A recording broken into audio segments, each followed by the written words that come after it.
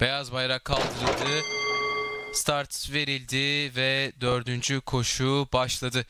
İç kulvardan gelen 7 numaralı Armağan Hanım yarıştaki liderliği almaya çalışıyor. Ortadan 1 numaralı Deniz Hat geldi. Şimdi koşudaki liderliği 1 numaralı Deniz Hat aldı. Bir boy kadar fark yaptı. İkinciliği 3 numaralı Karapalı atak yaptı. Bir boy kadar geride 11 numaralı Nur Burcu'nu izliyorum. Onun 1,5 boy kadar gerisinde 9 numaralı Cari.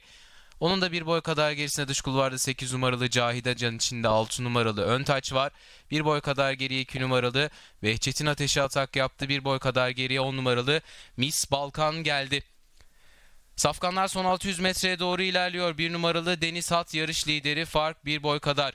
Orta kulvarda ikincilikte 3 numaralı Karapala var bir boy kadar geride. İç kulvarda 11 numaralı Nur Burcu ortada 9 numaralı Cari dışarıda 5 numaralı Müteşekkir ve 2 numaralı Behçet'in ateşi sırasıyla viraj dönülmek üzere.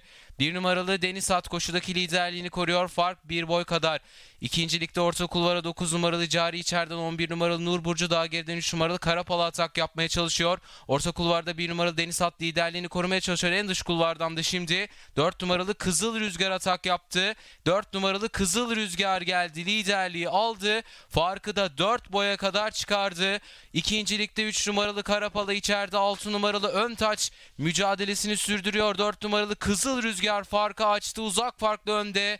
4 numaralı Kızıl Rüzgar 4. koşuyu kazanıyor değerli yarışseverler. 6 numaralı Ön taç koşunun ikincisi oldu. Bir numaralı Deniz At üçüncü. Üç numaralı Karapala dördüncü. Beş numaralı Müteşekkir de yarışı beşinci tamamladı. Dört numaralı Kızıl Rüzgar Görkem Özçelik'le kazandı.